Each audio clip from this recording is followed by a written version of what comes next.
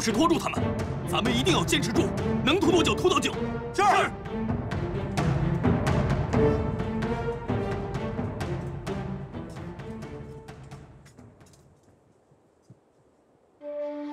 田田长官，万路的已经被我困在山上，他们没有补给了，弹药应该也不多了。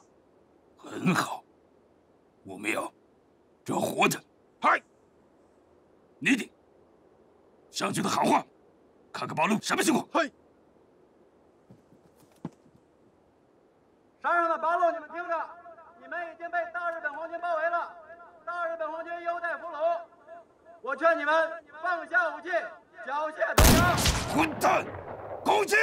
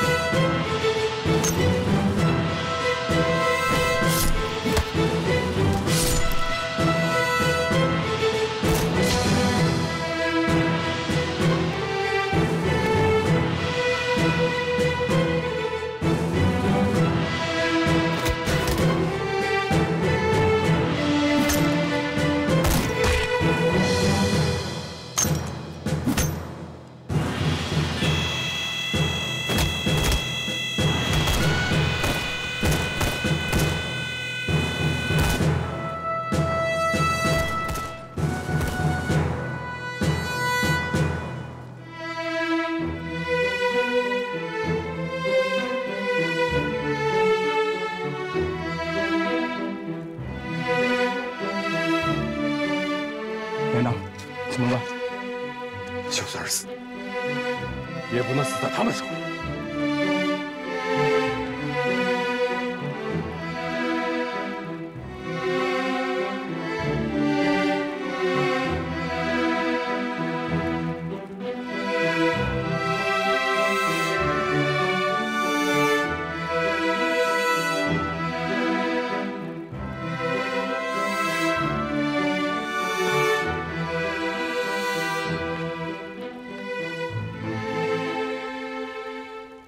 别怕，跟着我，我先走。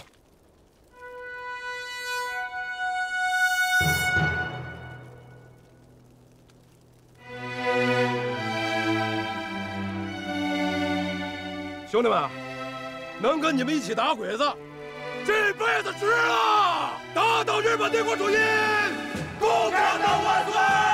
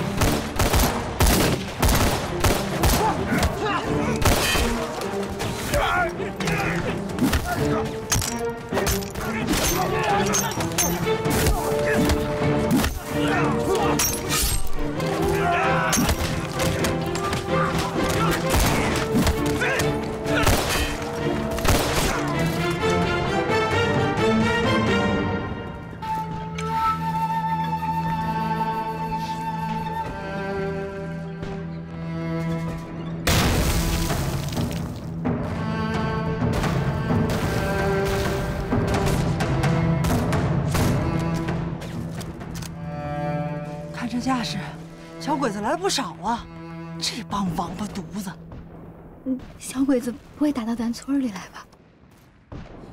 看着挺远的，一时半会不会吧？哎，今天早上我看到八路军的队伍经过咱们村，好几百人呢，里边好多是女的。八路军还有女的？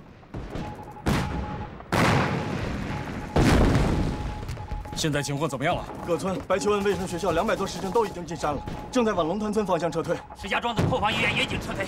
住在阴岭村老乡家里的伤员，我们撤出来一小部分轻伤员，还有一部分重伤员，实在是没有办法。我们已经派了我们的同志就地进行掩藏和躲避。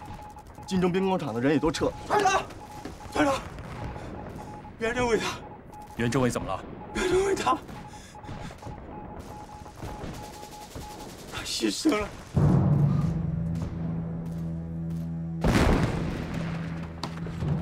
报告团长，师首长命令我们留下小股部队阻击敌人，掩护伤病员的撤退。敌人已经顺沟涌上来了，离这不到五百米了。乡亲们呐？都已经进山了，马上撤退。可是花旗、玉华庵、老虎岭、林书玉都发现了敌人的主力，我们现在只有一条路，就朝北往金子沟方向前进。有一批后勤人员和医院的伤员被鬼子冲散了。常玉梅是不是也在里面？也在里面。快把金立奎和李金武给我找来！是。连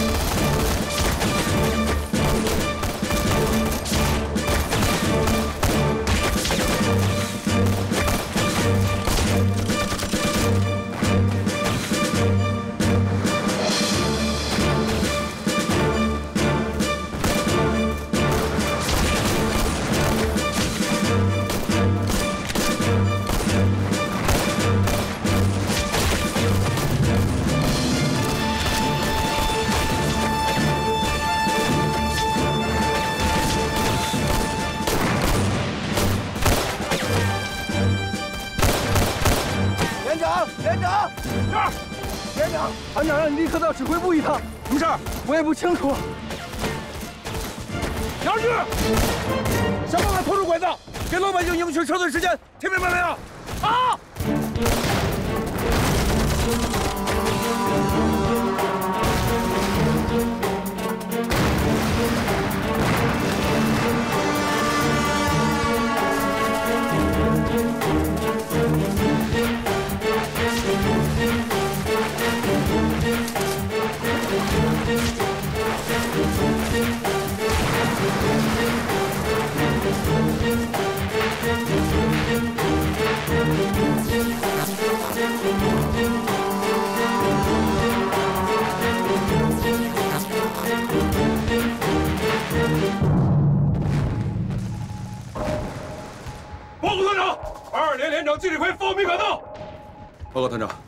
三连连长李金福奉命赶到。刚刚接到上级命令，让我们立刻撤出马尔山山区。但是我们一部分的后勤人员和医院伤员被冲散了，还没有完全撤离。为了掩护大部队安全撤离，现在有命令，季立奎，到，你立刻率领二连冲上马尔山山脚，全力狙击进攻的日军，不惜一切代价把他们的主力给我引上马尔山，完成任务后向凤凰岭撤退。我们在那儿会合。是，保证完成任务。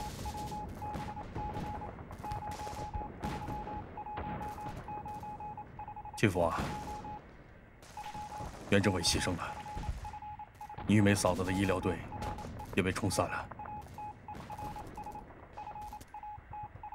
最后见到他们，就在娘娘沟。您不用再说了，团长。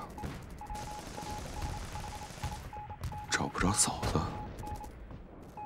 我李金福提头来见。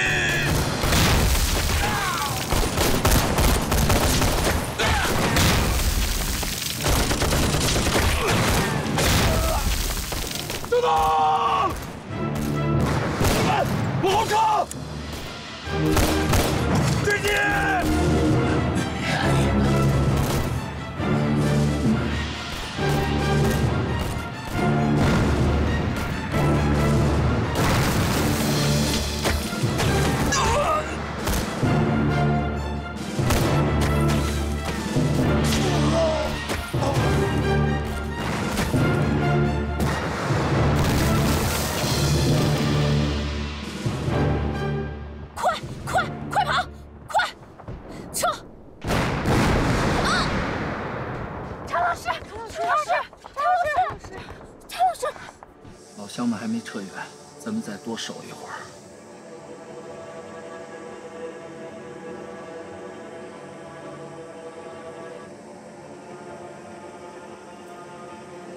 都精神点啊！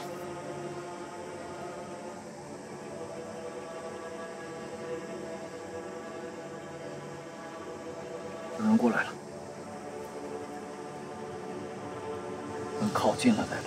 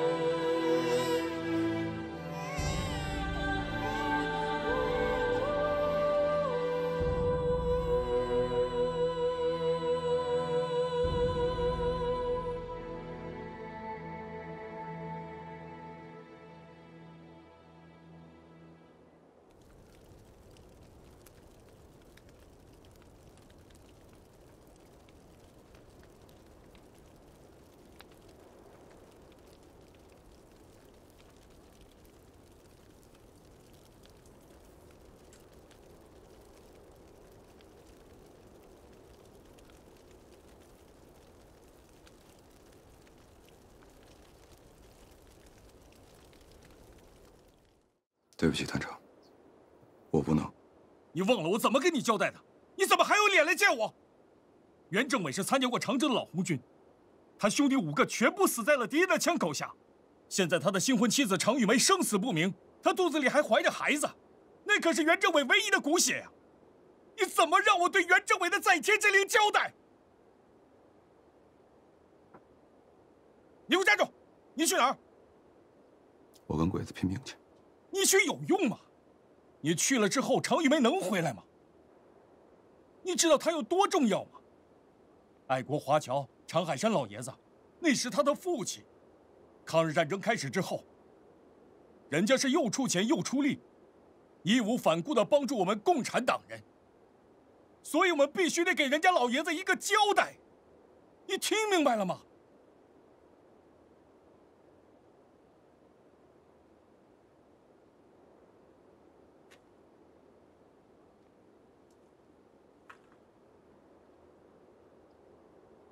对不起，团长，我明白了。李金福，你给我听着，我给你一个班，一定把常玉梅给我找到，活要见人，死要见尸，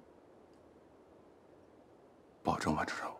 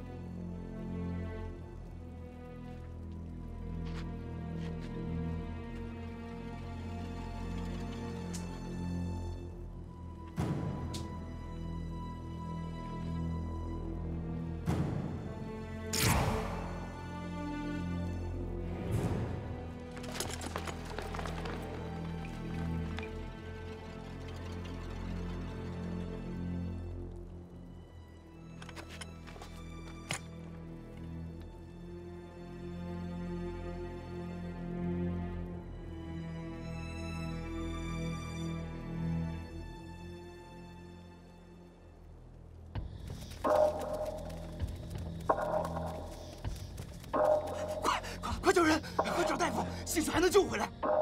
快快快！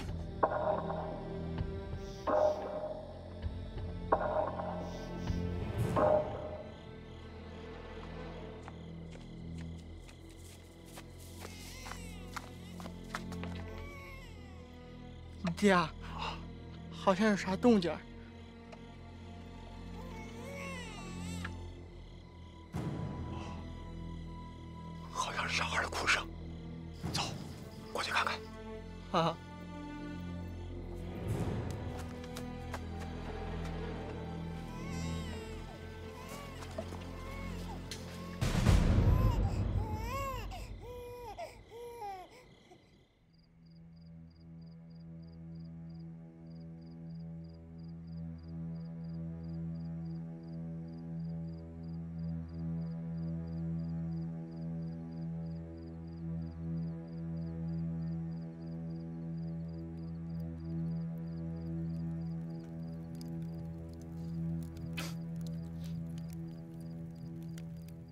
爹，这是啥衣服？八路的军装。八路是个啥？八路就是，哎，跟你说不明白。小子，好好看住他啊！待会儿爹啊下去蹲只山鸡，给他补补身子。听爹的话啊，一定好好照顾他。他要是好了，你小子的好事就来了。爹，啥好事？你个傻小子，到时候就知道了。听爹的话没错。嗯。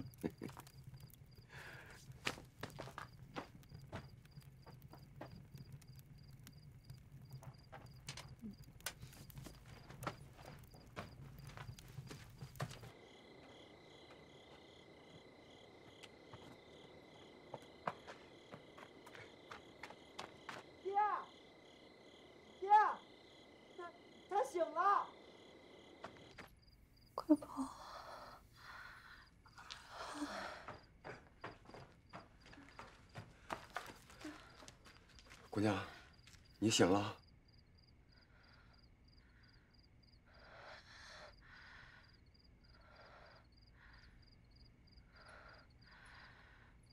孩子，我的孩子呢？孩子不是睡得好好的吗？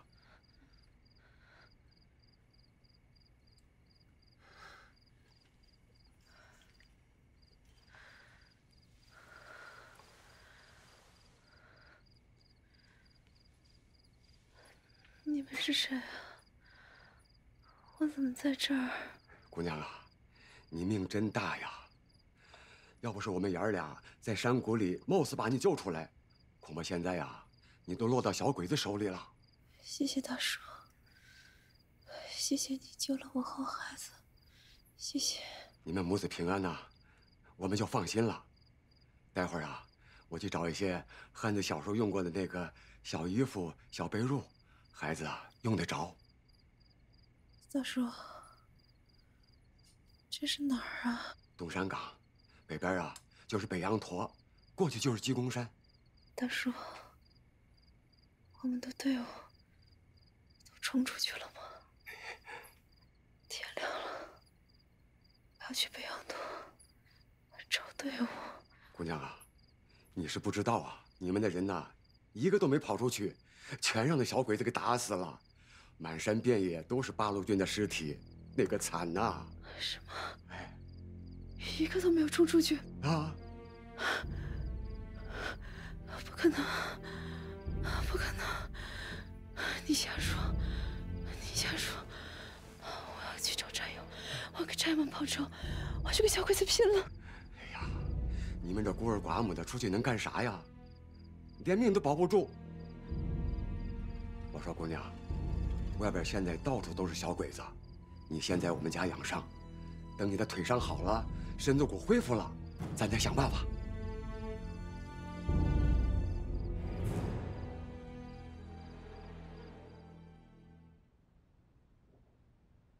报告长官，刚刚接到线报，八路军政委袁大海的妻子常玉梅在我们这次围剿中失踪了，八路军正在四处搜寻。我们要在他们之前查明这个女八路的下落，不惜一切代价抓住这个女八路。嗨，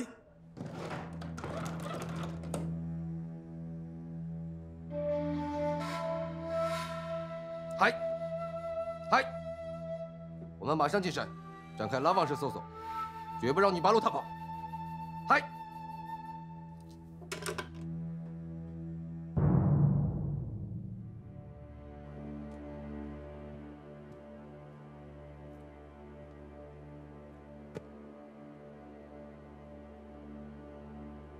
杨队长出发了吗？报告太君，我表妹夫，哎，杨明奎杨队长已经按照您的命令，提前带一支小队出发了。很好，武士们，我们遵照华北司令部的命令，配合主力部队，肃清了马尔山地区八路的武装。大家都出色的完成了任务。野田长官非常高兴，打来电话表示祝贺。大家都辛苦了。但这次战斗。也有漏网之鱼，尤其是一个女八路，她的身份特殊，对我们很重要。据可靠消息，她就在我们的辖区活动。野田长官命令我们，要活捉这个女八路。直江小队长，集合队伍，出发。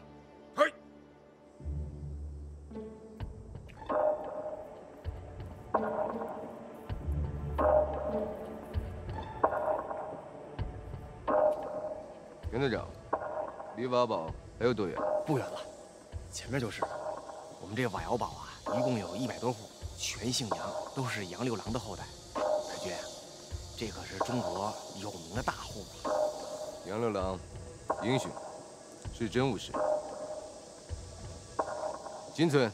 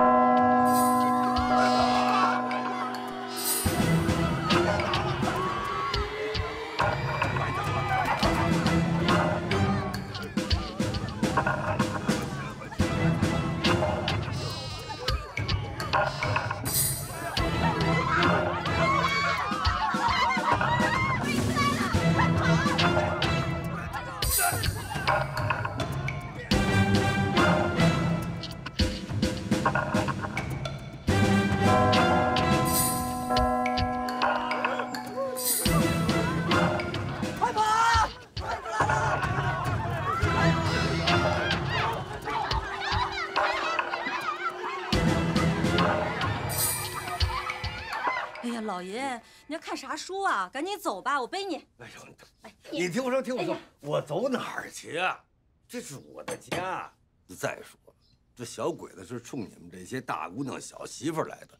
我这么大岁数一老头子，他能把我怎么着？听话，帮你婆婆收拾收拾，赶紧的，你们走。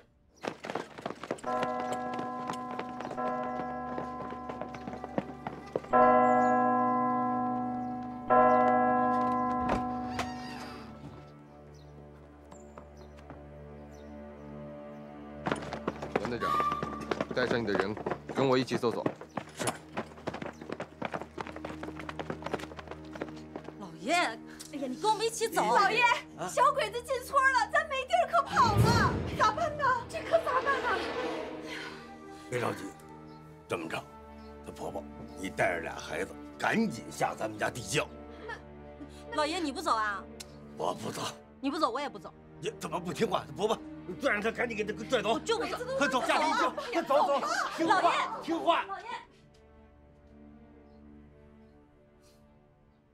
这这是我的家。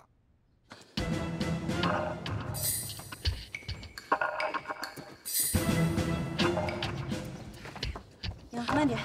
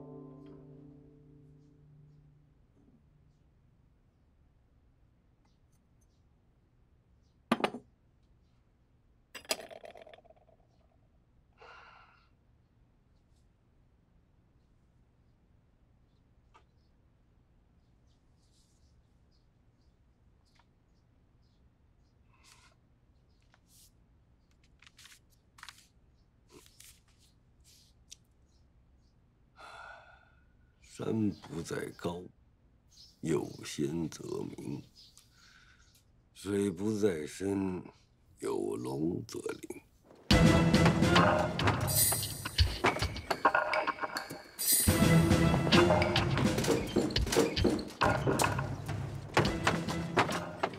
斯是陋室，惟吾德馨。苔痕上阶绿，草色入帘青。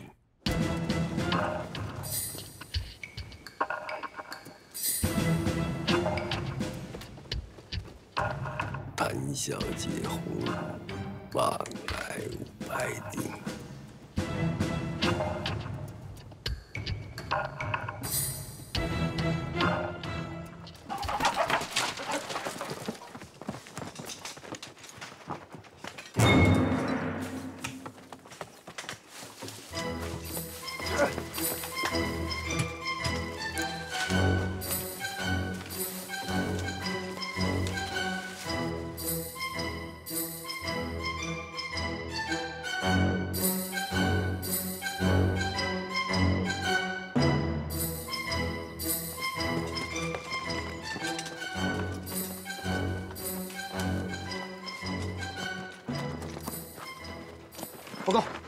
在那边的院里发现一个老头。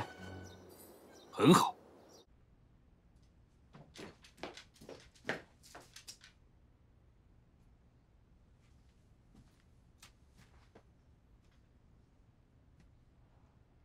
老头，快说，村里人呢？哪里去了？你说什么？家里还有什么人？他们都哪里去了？你大点声儿，我听不见。皇军来了，他们为什么都躲起来了？你再大点声儿，混蛋！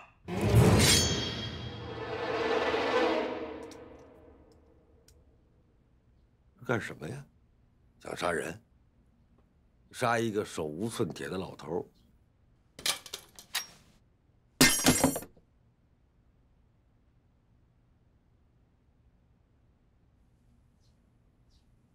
够分量啊！哎呀，知道的，给你。我跟你公平的决斗。你说你这年纪，我这岁数，咱们这决斗公平吗？啊？听到枪响没？没有。那你听见啥了？哎呀，听不清楚。阿弥陀佛，保佑老爷平安无事，保佑老爷。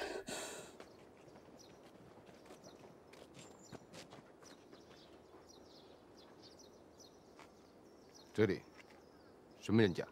啊这家可不得了，书香门第，这是咱们村啊有了名的读书的人家。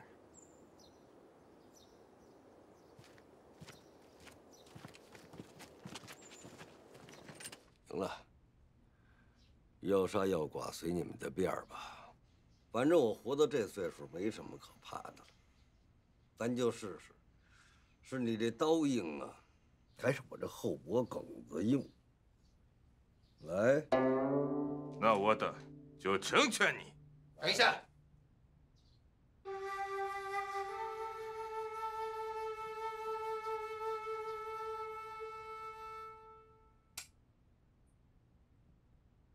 杨老爷，哎，明奎啊，哎，你来的正好，你帮我问问他们，他们要把我给杀了，我是犯了什么罪过了？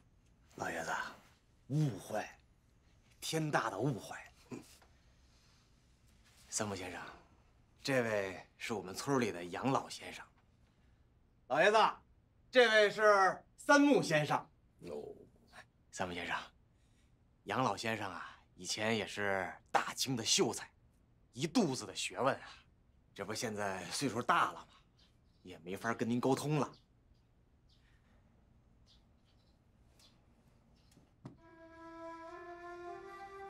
大清的秀才。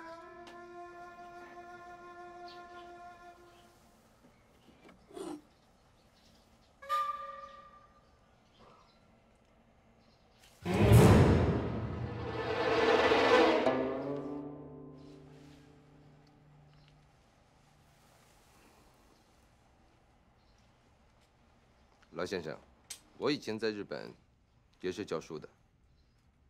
你既然有学问，那你知道我们大日本国的历史吗？虽然你们中国历史悠久，地大物博，可我们大日本帝国是最强大的国家。看来咱俩念的书不一样啊！我念那书不是这么说的，说中国的东海边上有一小国，叫扶桑国。再往远了说呢，是秦汉的罪犯流亡地。别子，混蛋！哎，太君，太君，太君，息怒，息怒。老爷子岁数大了，这儿坏了，息怒，息怒啊！三木先生，杨老爷子在村里头啊，也是德高望重啊。万一有个什么闪失，咱跟村里的老百姓没法交代呀。哎，咱们不是还有公务呢吗？要不咱们，咱咱咱们，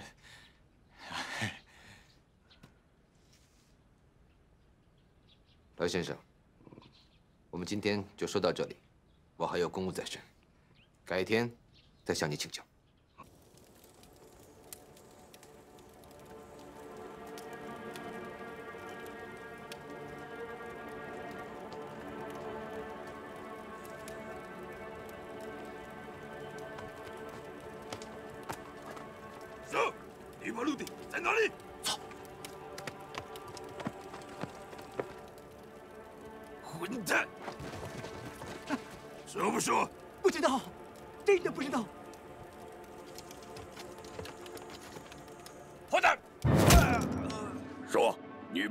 在哪里？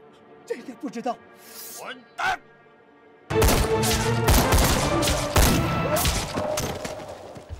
大爷，您没事吧？有个女八路，女八路，哎，在哪儿？在屋里。好，姑娘，没事啊。